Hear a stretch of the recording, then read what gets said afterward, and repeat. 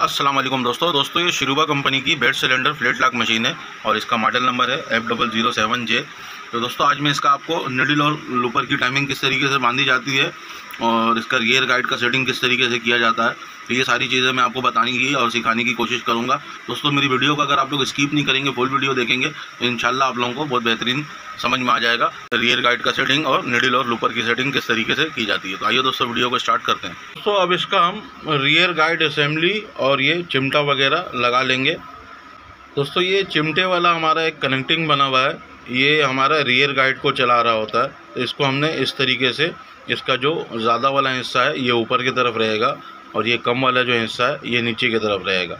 इसको हमने यहाँ पे इस तरीके से बैठा लेना है। और बैठाने के बाद इसका ये पैकिंग लगा लेंगे यहाँ पे, कि पैकिंग को हमने बैठा लेना है। और पैकिंग को बैठाने के बाद ये एक प्लेट बना हुआ है ऑयल रोकने के लिए, इसको यहाँ पे हमने ऐसे बैठा लेना है। बैठाने के बाद इसका हम फनर पट्टी लगा लेंगे। ये दो फनर पट्टी है इसके अंदर। इसको हमने यहाँ पे ऐसे लगा लेना ये दूसरा भी हम यहाँ पे ऐसे लगा लेंगे। इसके बाद हम इसका ये रियर गार्ड असेंबली जो है हमारा पूरा, वो लगा लेंगे।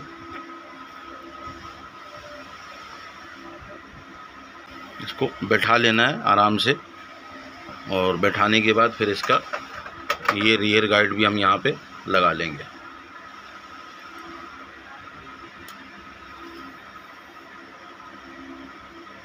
रियर गाइड को हमने बैठाना है जगह पे। ये हमारा रियर गाइड बैठ गया जगह पे और ये अभी फिक्स हो गया अपने जगह पे। अब हम इसके स्क्रू को लगा लेंगे, फिर इसकी हम सेटिंग करेंगे। ये स्क्रू को हमने यहाँ पे ऐसे टिका लेना है। और तीन स्क्रू लगेगा इसके अंदर। तो तीनों स्क्रू को हम ऐसे लगा लेंगे। एक यहाँ पे लगेगा और एक यहाँ पे लगेगा। तीनों स्क्रू को हम अच्छी तरीके से टाइट कर लेंगे। दोस्तों, यहाँ पे हमारा ये ढाई नंबर की एलकी का स्क्रू है और इसके अंदर एक कट है। तो इस कट को हमने ऐसे हिला के बैठा लेना है। और बैठा के इसको हम टाइट कर लेंगे अच्छी तरीके से। इसको हमने लूज़ नहीं छोड़ना है, इसको हमने अच्छी तरीके से टाइट करके इसके ऊपर एक रबड़ लगेगा और रबड़ भी हम लगा लेंगे।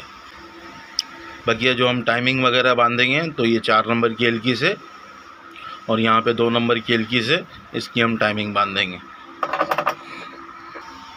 दोस्तों, ये यहाँ पे इसका रबड़ लगेगा। इस रबड़ को हमने यहाँ पे ऐसे लगा लेना है ताकि आयल वगैरह ना निकले।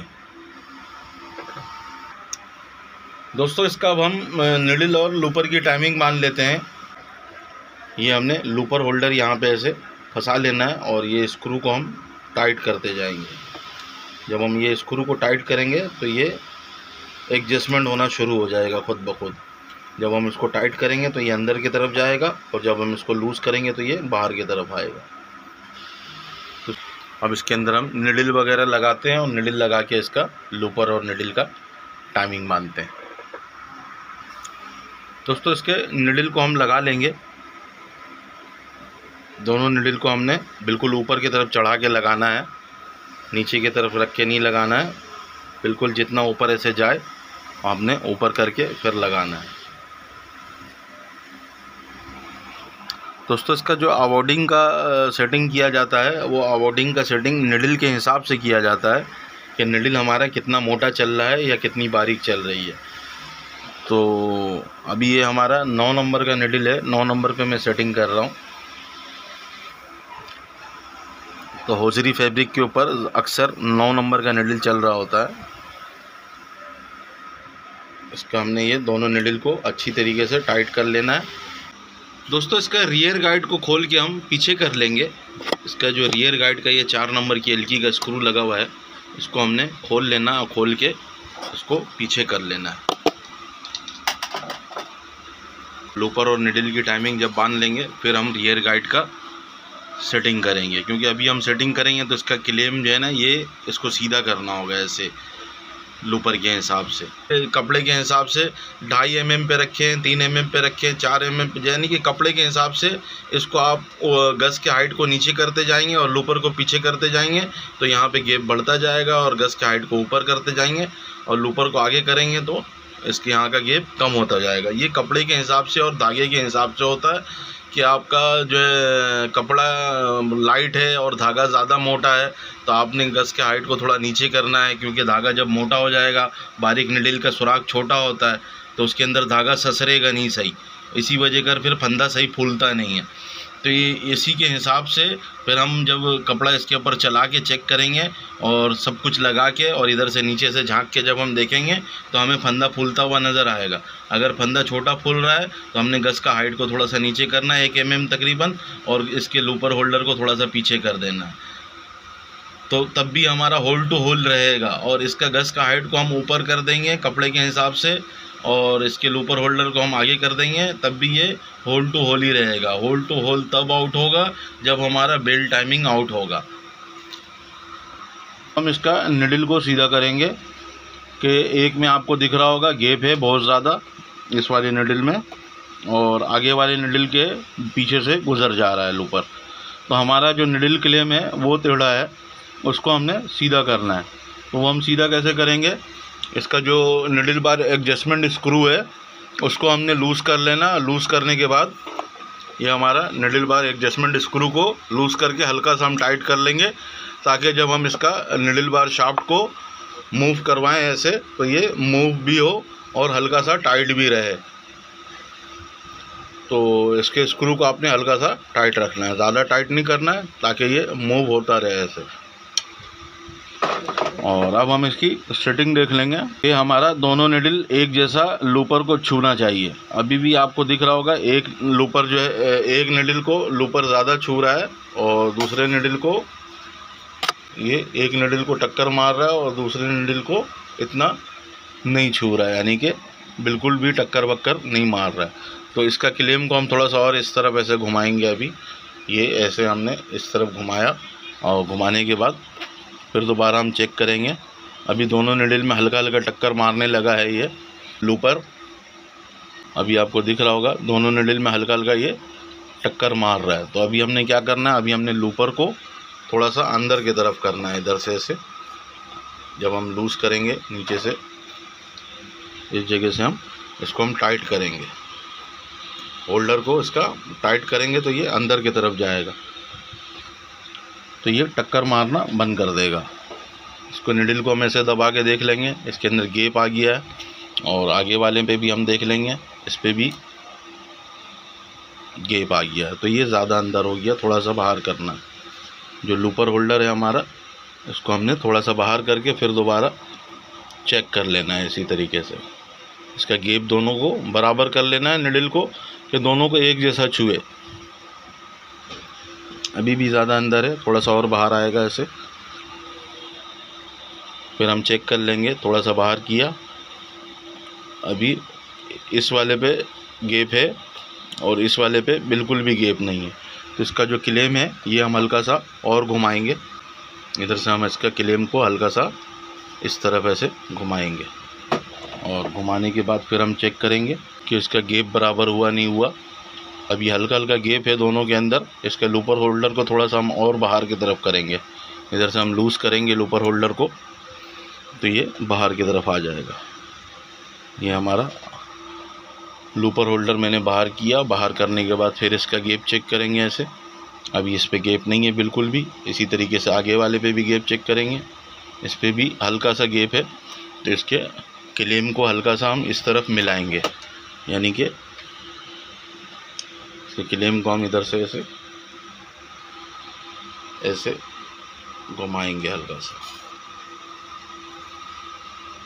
और घुमाने के बाद फिर हम चेक करेंगे और आगे वाले पे भी हम चेक कर लेंगे ऐसे ही।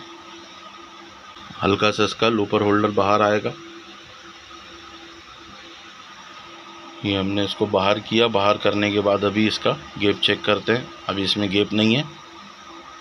और आगे वाले निडल भी बेहतरीन काम कर रहा है, इसी तरीके से। गेप ख़त्म करना आपने। और गेप ख़त्म करने के बाद अब आपको एक चीज़ और दिखाते हैं। इधर से हमारा बराबर हो गया है गेप। इधर से गेप नहीं है बिल्कुल भी। लेकिन अगर आप रिटर्न की तरफ़ देखेंगे इधर से तो इधर से आप देखिए, इसमें गेप है। ये बहुत साइड से गुज़र जा रहा है ये ये गेप नहीं होना चाहिए। ये गेप कैसे ख़त्म होगा? इधर से करीब से गुज़रना चाहिए, बिल्कुल। दोस्तों, ये इस जगह पे आपको एक स्क्रू दिख रहा होगा। इसको हमने लूज़ कर लेना है। लूज़ करने के बाद हम दो नंबर की एलकी ले लेंगे यहाँ पे। और ये एलकी से जब हम इसको ऐसे ऊपर नीचे करेंगे, इसको आपको दिखेगा अभी ये लूपर होल्डर हमारा हिलता हुआ आपको दिख रहा होगा। लूपर होल्डर हमारा अंदर बाहर हो रहा है। जब हम इसको ऐसे टाइट करेंगे, इसके अंदर से गेप ख़त्म होता जाएगा। जब हम इसको ऐसे लूज़ करेंगे तो हम बिल्कुल लूज़ करते जाएँगे लूज़ करते जाएँगे ऐसे ऐसे लूज़ करते जाएँगे तो हमारे लूपर होल्डर में गेप आ जाएगा। ये आपको दिख रहा होगा अभी। ये गेप आ गया इसके अंदर। इसको हम जितना लूज़ करते जाएँगे, ये मोटे पतले निडल के हिसाब से होता है। कि अगर आपने मोटा निडल लगाना है तो यहाँ से एडजस्टमेंट लाजमी करना है इसका। अगर आप एडजस्टमेंट नहीं करेंगे तो निडल बार बार ख़राब भी होगा और लूपर में जब टकर के जाएगा तो वो सही काम भी नहीं करेगा। इधर से दिख रहा होगा आपको ये गेप आ गया। अब अगर हम इसको टाइट जब करेंगे तो इसमें से गेप कम होता जाएगा। ये लूपर जो है, ये इधर ऐसे करीब होता जाएगा। ये इसके अंदर जो चाल आ गया है, ये जो नट हमने लूज़ किया हुआ है, इसी के वजह कर चाल आ गया। ये जो कनेक्टिंग लगा हुआ है हमारा, ये अवॉर्डिंग कनेक्टिंग लगा हुआ है। तो इसको इस तरीके से हम टाइट करते जाएँगे टाइट करते जाएँगे तो हमारा लूपर उस तरफ़ जाएगा। और जब हम लूज़ करेंगे तो ये इस तरफ़ आएगा गेप पैदा करेगा इसके अंदर। इसको हमने ऐसे टाइट करते जाना है। और टाइट करके इसका यहाँ से ये चेक कर लेंगे व्हील भी घुमा के देख लेंगे कि हमारा नडिल ज़्यादा कहीं टकर तो नहीं रहा। इस तरफ़ से गेप सही है और दूसरी तरफ़ से ये हल्का सा टक्कर मार के जा रहा है। तो इस तरीके से टक्कर नहीं मारना चाहिए। ये आपको दिख रहा होगा, इसमें गेप नहीं है। इसको हम थोड़ा सा लूज़ करेंगे, ताकि इसके निडल के हिसाब से हम एडजस्टमेंट कर लें इसका। ये अभी हमने थोड़ा सा लूज़ किया। लूज़ करने के बाद इसको हम चेक कर लेंगे ऐसे। अब ये बेहतरीन है। इधर वाला भी निडल इतना ज़्यादा टक्कर नहीं मार रहा और ये वाला भी निडल इतना टक्कर नहीं मार रहा। अब इसी तरीके से जब हम मोटा निडल लगाएँगे तो इसको और लूज़ करना होगा और लूज़ करके इसके गेप को और बढ़ाना होगा। जितना मोटा निडल लगाते जाएँगे इसके गेप को बढ़ाते जाना और जितने पत, पतला निडल लगाएँगे इसका गेप को कम करते जाएँगे। इसके जो चलने का है ये चलने का साइज़ कम ज़्यादा यहाँ से हम कर रहे हैं। तो यहाँ पे हम एडजस्टमेंट करने के बाद इस स्क्रू को टाइट कर देंगे तो ये फिक्स हो जाएगा। स्क्रू टाइट हमने कर दिया। अब इसमें देखा ये जाता है, अगर आप गौर करेंगे अभी जैसे कि इसका जो ये वाला निडल है, पहला निडल ये होल टू होल आ रहा है और आगे वाला निडल जो है, ये थोड़ा सा फ़र्क होता है होल टू होल नहीं होता है। तो ये इसके बनावट में ऐसा फ़र्क होता है।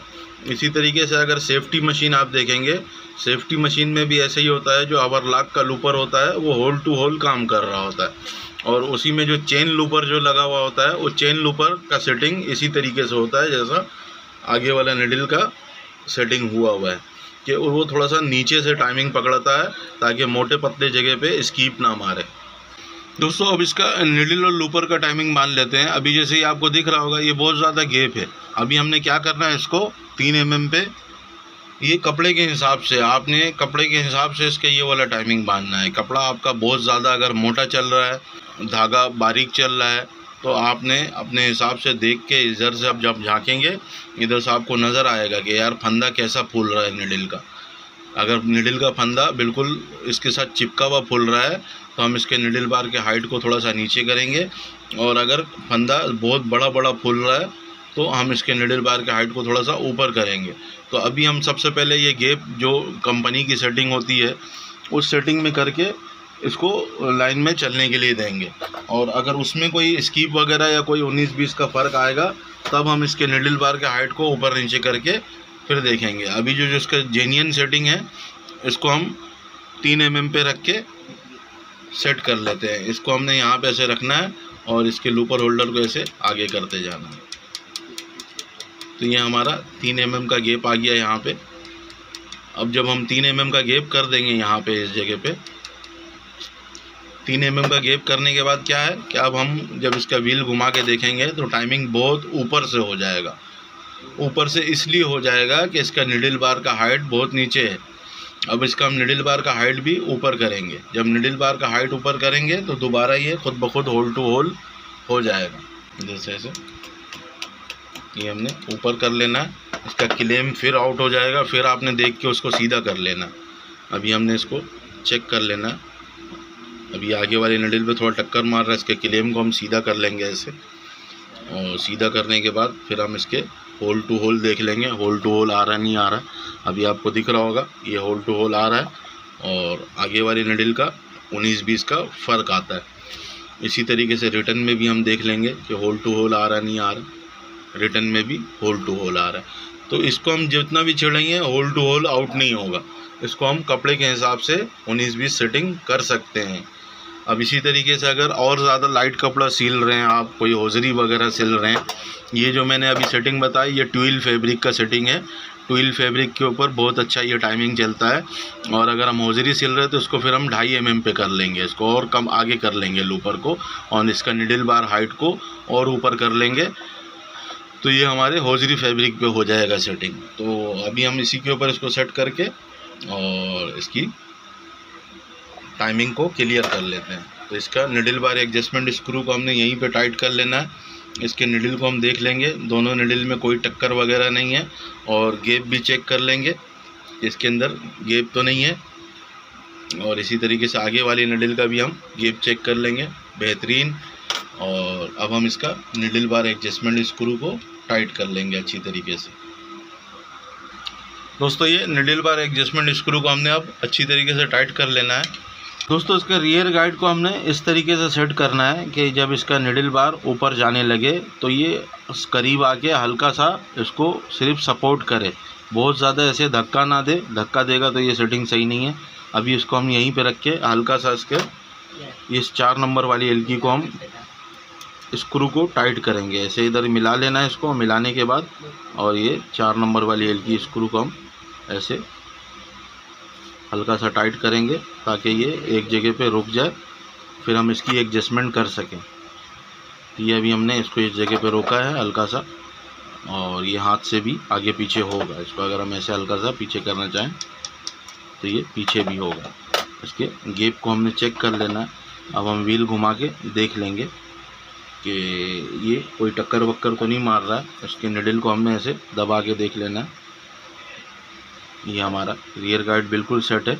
अगर रियर गाइड हमारा ऊपर से सीधा नहीं है तो हमने दो नंबर की एल की स्क्रू को यहाँ से इसको लूज़ करना है। यहाँ पे दो नंबर की एल का स्क्रू लूज़ है। ये समझ लें, ये जो रियर गार्ड होल्डर है होल्डर को आगे पीछे करने के लिए चार नंबर की एल का स्क्रू लगा हुआ है। और ख़ाली रियर गाइड को हमने अगर घुमाना हो ऐसे ऐसे, यानी कि ऊपर का हिस्सा अगर हमने इसको ऐसे करना है या ऐसे करना है तो यहाँ से हम दो नंबर की एलकी का स्क्रू लूज़ करके इसको ऐसे सीधा कर लेंगे कि दोनों निडल को एक साथ लगे आके रियर गाइड अभी जैसे दोनों निडल के ऊपर एक जैसा आके बिल्कुल टच करे इसको। अभी आपको जैसा दिख रहा होगा, इसी तरीके से आपने इसको सेट करना है। अब हमने क्या करना है इसके? दोनों स्क्रू को टाइट कर लेना पहले ये चार नंबर वाली एल की स्क्रू को हम टाइट करेंगे। ताकि ये एक जगह पर सेट हो जाए बिल्कुल। और फिर दो नंबर वाली एल की स्क्रू को भी हमने टाइट कर लेना तो हमारा रियर गाइड का सेटिंग हो गया है। अब हम लूपर की टाइमिंग बाँध देंगे। लूपर होल्डर को हमने ऐसे पीछे लेके जाना है और होल टू होल करके इसकी टाइमिंग बाँध लेनी है। ये अभी हमने इसको होल टू होल कर लेना और इसका टाइमिंग मुकम्मल कर लेना है। फिर उसके बाद हम इसको बन वन करके लाइन में दे देंगे चलने के लिए। ये हमने इसका होल टू होल बराबर कर दिया। रिटर्न में भी चेक कर लेंगे। बराबर है, बिल्कुल बेहतरीन काम कर रहा है और कोई टक्कर वक्कर भी कहीं पे नहीं मार रहा है। अब हम इसके चार नंबर वाली एल की स्क्रू को टाइट कर लेंगे यहाँ से, ताकि लूपर हमारा होल्डर एक जगह पे रुक जाए। दोस्तों, अगर मेरी वीडियो आप लोगों को अच्छी लगे तो अपने दोस्त यारों के साथ लाजमी शेयर कीजिएगा और अपने जॉब पार्टनर के साथ भी लाजमी शेयर कीजिएगा। और अगर आप में से कोई भाई नया है तो मेरे चैनल को सब्सक्राइब कर ले, ताकि ऐसी कोई भी मैं नई वीडियो डालूँ, उसका नोटिफिकेशन आपको सबसे पहले मिल जाए। एंड दोस्तों, अल्लाह हाफिज़।